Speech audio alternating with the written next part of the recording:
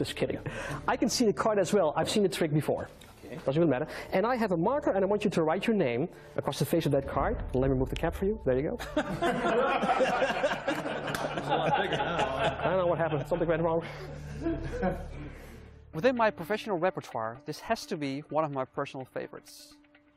I've been doing this for over 10 years, and it always gets great and amazing reactions. So here's what happens. Whenever you need a marker or something to be signed in your act, you reach out in your pockets and you come out with a mini Sharpie. Now, when you uncap the mini Sharpie, it instantly grows into a big jumbo Sharpie pen.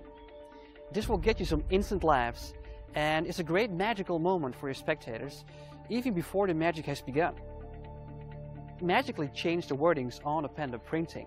It actually morphs into the text look inside.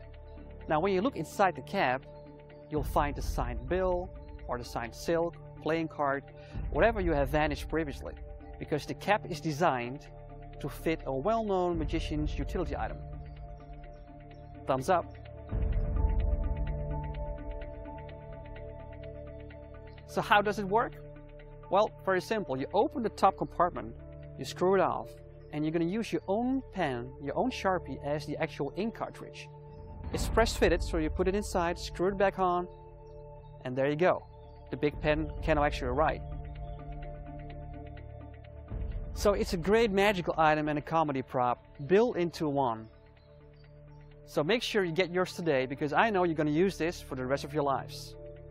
I'm Peter Eggink, and this is Sharpee.